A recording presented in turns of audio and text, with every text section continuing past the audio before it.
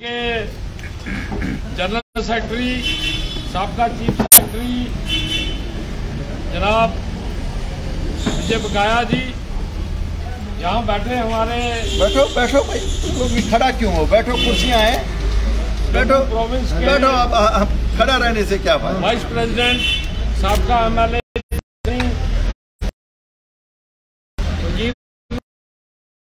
बैठे हमारे एससीबी के प्रधान बोधराज भगत जी, हमारे जिन्होंने आज़ादी के बाद से ही जम्मू कश्मीर में इनका एक बहुत बहुत बड़ा इम्पोर्टेंट रोल रहा है।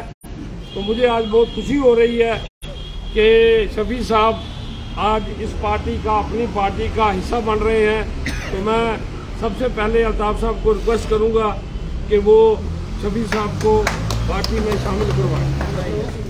मेरी थोड़ा पीछे आ जा भाई। अंकुर थोड़ा पीछे आ जाना यार समझ करना गल फिर तू कैमरा पे ना यार। मैं भी तो फ़ोटो खींचने है तो सुजीत थोड़ा पीछे आ जाना यार। पीछे ये थोड़ी फ़ोटो आनी है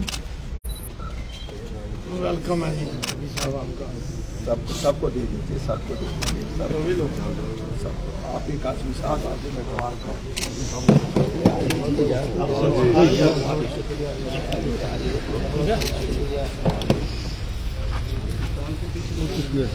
अरे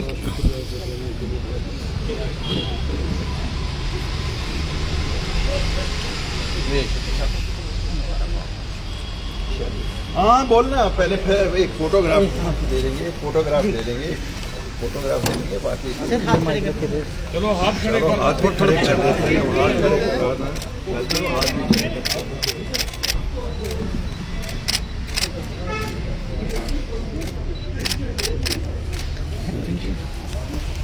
अब मैं रिक्वेस्ट करूँगा से कि वो इस मौके पे अपने विचार रखें। माइक माइक मैं नीचे रखना चलो वहाँ पर मोहतरम जनाब सईद अल्ताफ बुखारी साहब पार्टी के प्रेसिडेंट भाई फ़ोन पीछे कर कौन है और जम्मू कश्मीर अपनी पार्टी के सीनियर अहदेदारान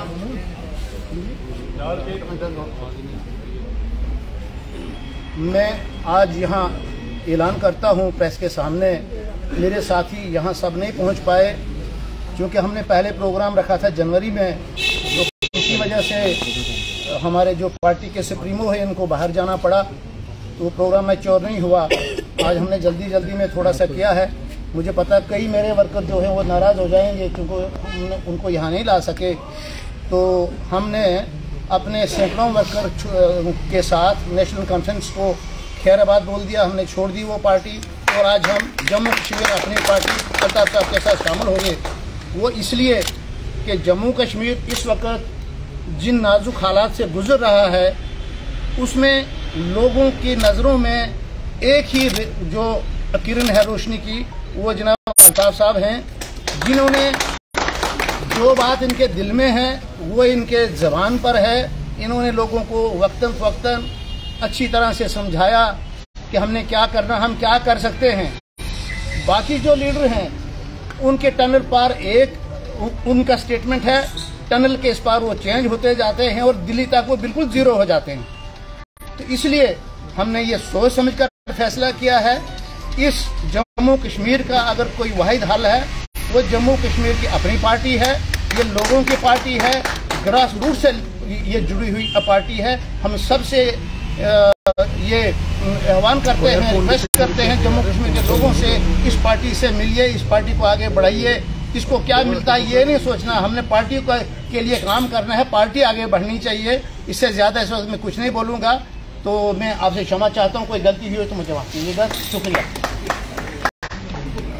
अब मैं रिक्वेस्ट करूँगा श्री अल्ताफ बुखारी जी से कि वो इस मौके पे अपने विचार रखें।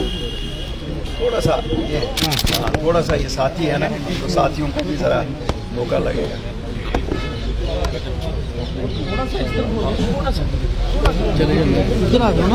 मैं मैं मी मारा दे आगे नाम आगे सब। फरवरी ना यू तेरे हमारी पार्टी के करेगा तो मैं थोड़ी कराना उन्होंने तो नोट किया से मैं थोड़ी आने ऐसे। जनरल सेक्रेटरी और मेरे मैं ही बस। वालिद समा बकाया साहब। कैमरा सिंह पीछे साहब, रखो माइक? पीछे सर कर लो ना। थोड़ी नहीं माइक। माइक हमारे थोड़ी दे रहे। प्रोविंशियल प्रेसिडेंट मंजीत सिंह जी हमारे वाइस प्रोविंशियल प्रेसिडेंट फकीर नाथ जी बाकी मेरे सीनियर सब, सभी साथी और आज की इस तकरीब के जो मेहमान हैं जिन्होंने आज ज्वाइन किया मेरा छोटा भाई भाई बिल्कुल छोटा काम है हम तो हम उम्र हैं दोनों। मोहम्मद शफी शेख साहब, जो शेख अब्दुलरहमान साहब के फर्जंद है। आप इन, जो इनके साथ आज यहाँ साथी आए हैं, आप सबको आदाब, नमस्कार, अस्सलाम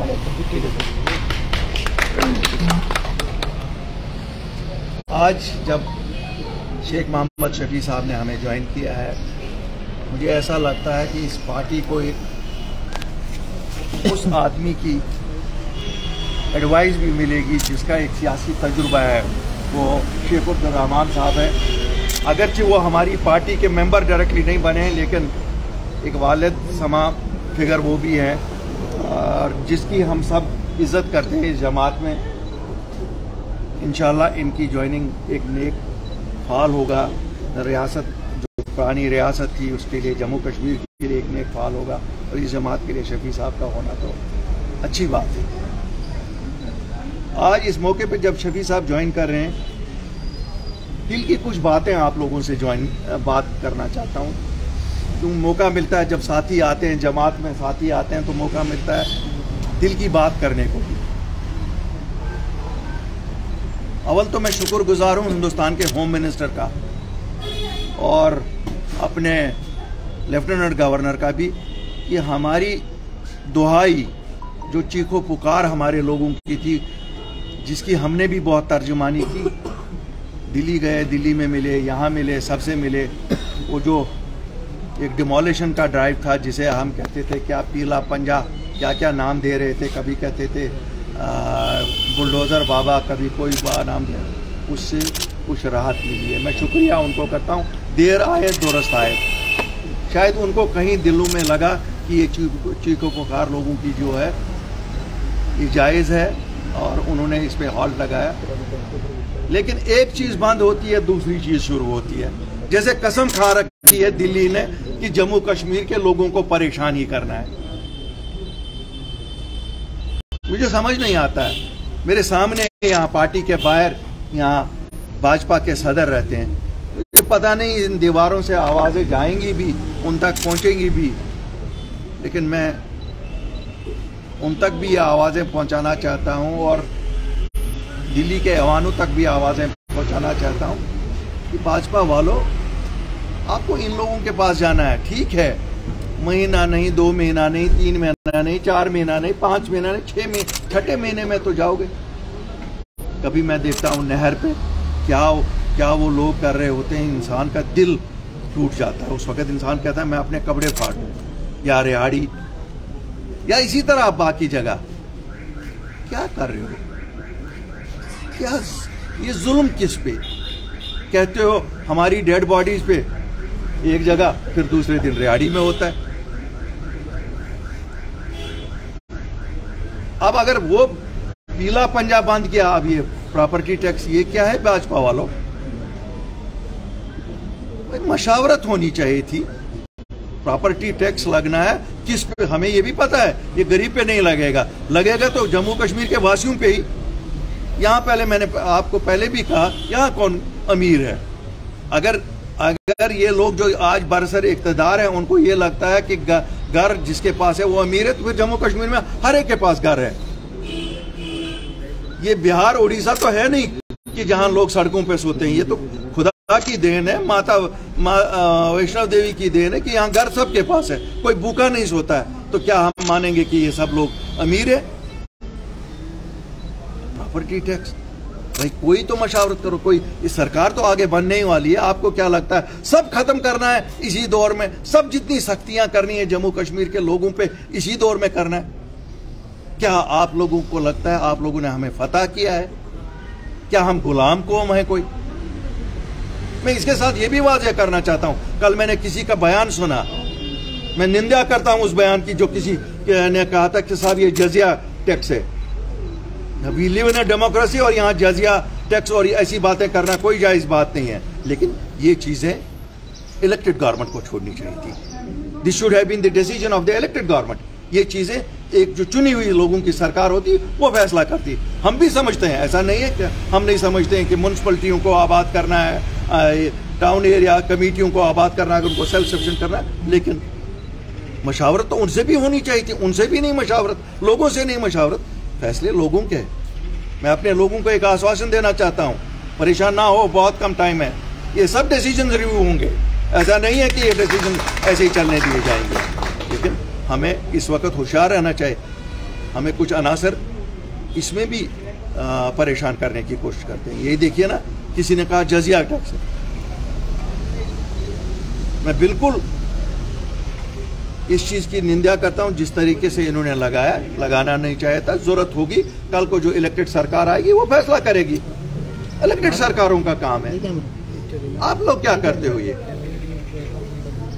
मेरा जम्मू कश्मीर के लोगों से आज डायरेक्टली एक अपील करता हूँ कि आप मुतहद रहिए।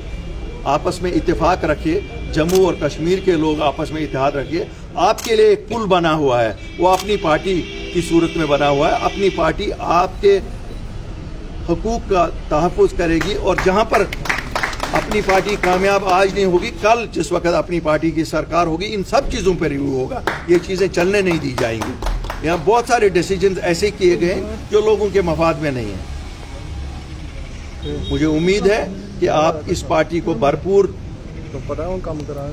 सपोर्ट करोगे और एक मज़बूत सरकार ताकि कल ये पार्टी बना सके जिसपे इसको किसी पे डिपेंडेंट ना होना पड़े। तभी ये चीज़ें सब दूर की जा सकती हैं।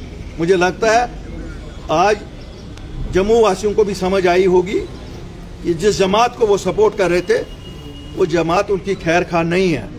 वो जमात हो ही नहीं सकती है जम्मू की खैर खा।